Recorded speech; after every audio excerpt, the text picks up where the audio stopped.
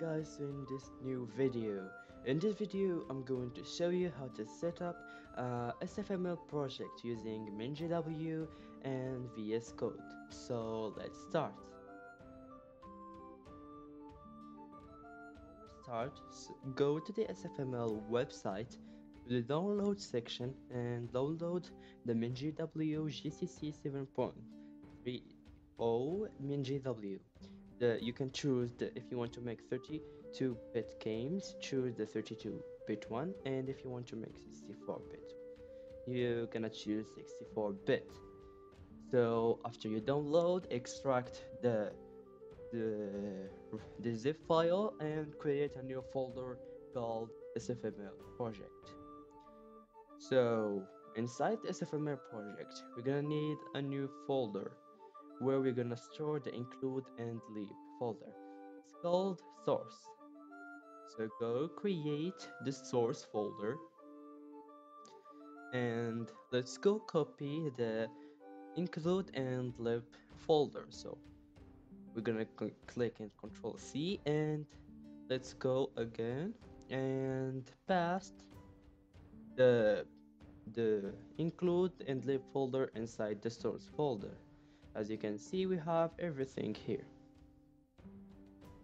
Now let's let's go and create a new folder called called coding.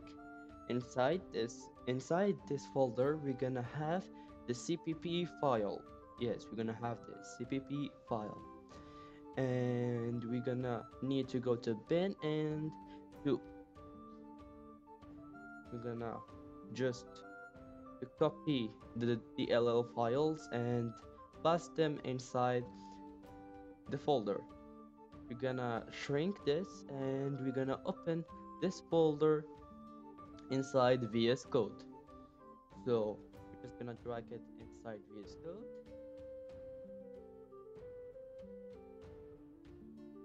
And we're just gonna create a new folder in called makefile. Inside the SFML project, we're create this folder called makefile. Inside the folder, you're gonna paste uh, code that you're gonna find in the description. So this is the code where you need to compile all the SFML DLLs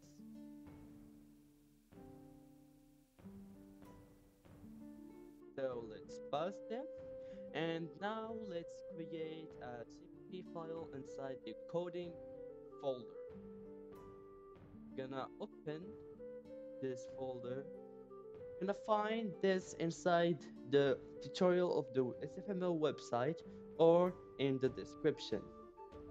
Inside the description, uh, you're gonna just, it's the same as the one inside the tutorial inside the SFML website. You're just gonna copy the code and create a new main.cpp file and paste it. Now let's just wait. Now you can see we don't have any errors. We just need to open a term open a terminal. If you use VS Code, just create a new terminal and change it to command prompt, so CMD or command prompt.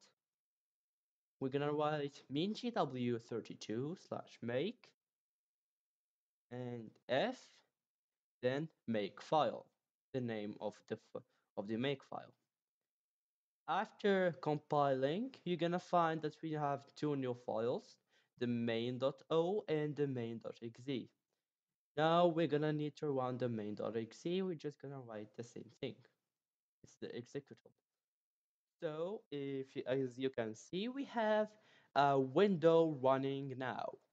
This window is where we're gonna have our game. You can code the game here. You're just gonna need to change something in the main.cpp, follow some tutorials. Maybe in future, I'm gonna make a tutorial about SFML. So so goodbye to another video.